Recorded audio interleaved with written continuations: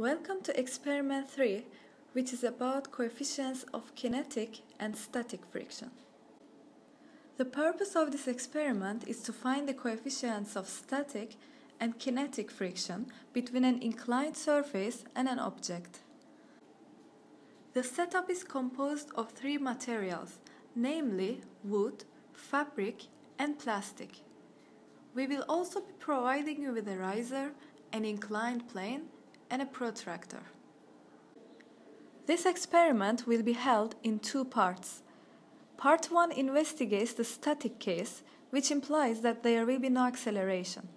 Hence, with the help of Newton's second law, one will be able to derive an expression for static friction coefficient as shown. Part 2 will be about the kinetic case, meaning that our object will attain acceleration this time.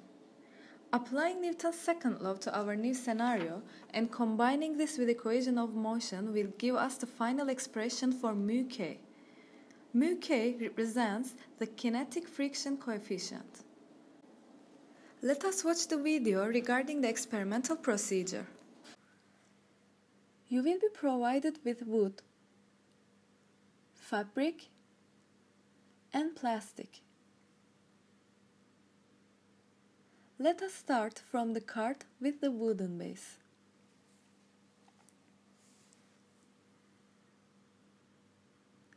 Adjust the angle in such a way that the cart just starts moving you need to make sure that it moves very slowly.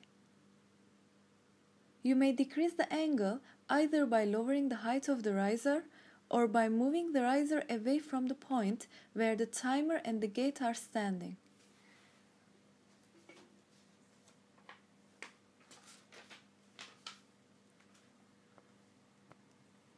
Measure the angle by using a protractor and make sure that you hold it in parallel with the inclined plane while doing so.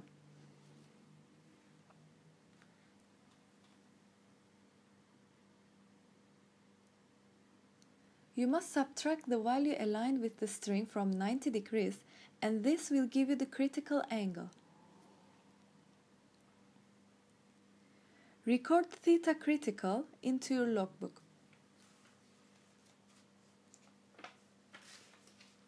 You shall now repeat the same procedure for fabric.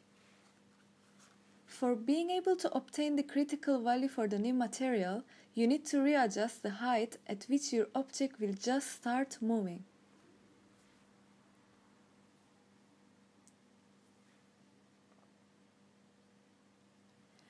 Achieving this may take a while.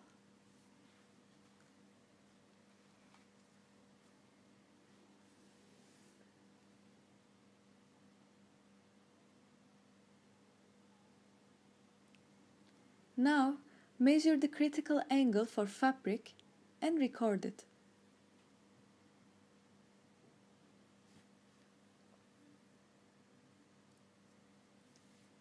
Finally, repeat the same procedure for plastic. You must keep in mind that plastic should attain the lowest theta value.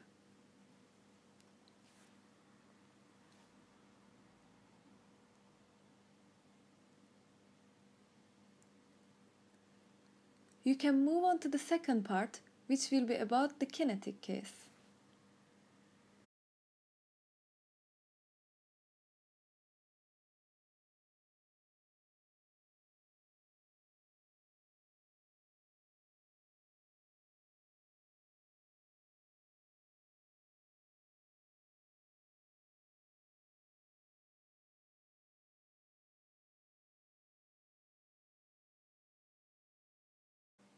Adjust the angle in such a way that it exceeds 12 degrees.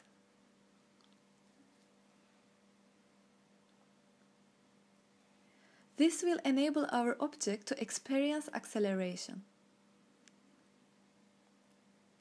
Record this angle and double check whether it has a higher value than theta critical for plastic or not. If not, you must readjust your angle.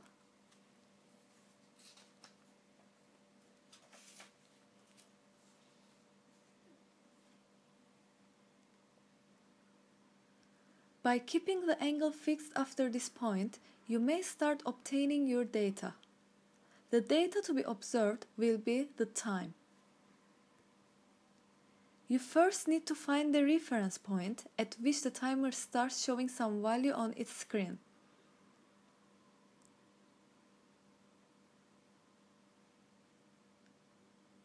Having done so, move the cart 100 centimeters backwards, press null and let it go.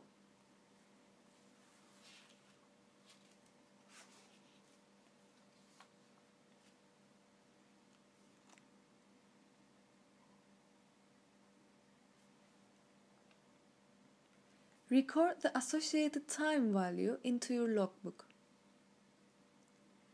Press null again and this time move 80 centimeters backwards from the reference point.